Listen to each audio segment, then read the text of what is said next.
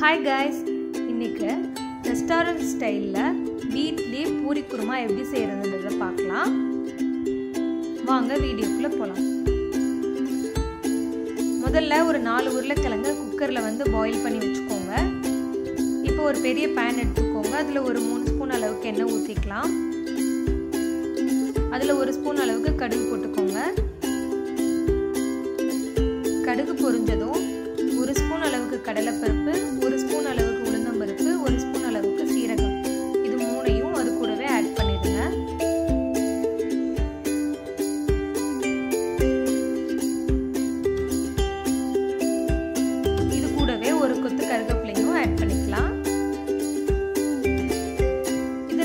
Brown கலரில் வர வரைக்கும் நல்லா வதக்கி விடுங்க.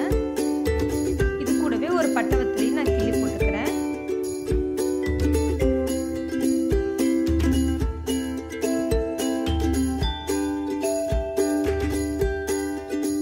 ஒரு துண்டு இஞ்சியை நல்லா நான் சின்ன சின்னதாக கட் பண்ணி வச்சுருக்கேன் நாலு அஞ்சுமா. அது கூட ஆட் பண்ணிக்கோங்க.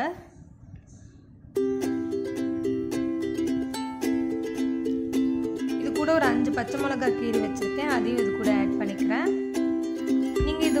காரத்துக்கு ஏற்ற மாதிரி கொஞ்சம் கூட்டிக்கோங்க இல்லைன்னா குறைச்சிக்கலாம். ஒரு பிஞ்ச் அளவுக்கு பெருங்காயத்தூள் போட்டுக்கோங்க. ஒரு கால் டீஸ்பூன் அளவுக்கு மஞ்சள் தூள் போட்டுக்கோங்க.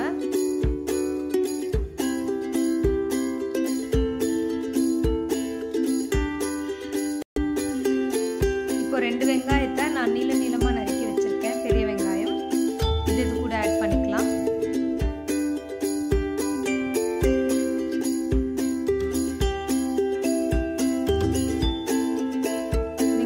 வதங்குறதுக்கு தேவையான அளவு உப்பு போட்டுக்கோங்க.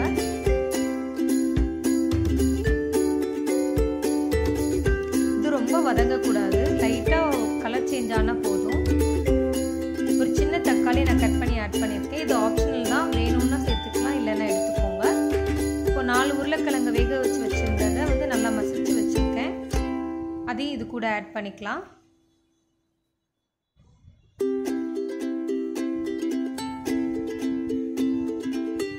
மசாலா கூடவே நல்லா வந்து நினைஞ்சு விடுங்க.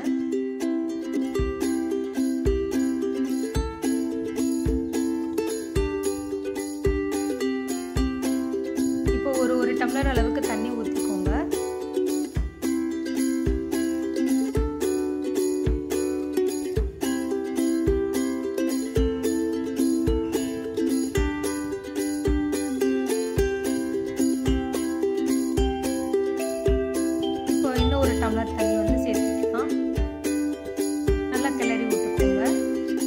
ஃபைவ் மினிட்ஸ் கொதிச்சா போதும்.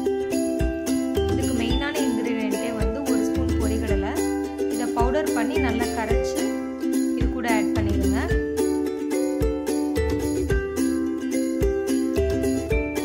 பொரிகடலை கலந்ததுக்கு ஒரு ஒரு நிமிஷம் மட்டும் கொதிச்சா போதும்.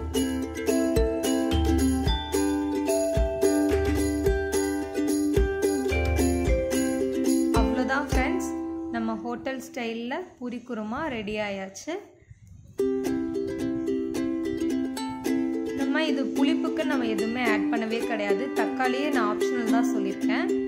இதை அடுப்பு ஆஃப் பண்ணதுக்கப்புறம் நம்ம ஒரு லெமனை வந்து புளிஞ்சு விட்டுக்கலாம் அதை நீங்கள் சாப்பிடும்போது பண்ணிங்கன்னா சூப்பராக இருக்கும். அவ்வளோதான் ஃப்ரெண்ட்ஸ் கண்டிப்பாக ட்ரை பண்ணி பாருங்கள்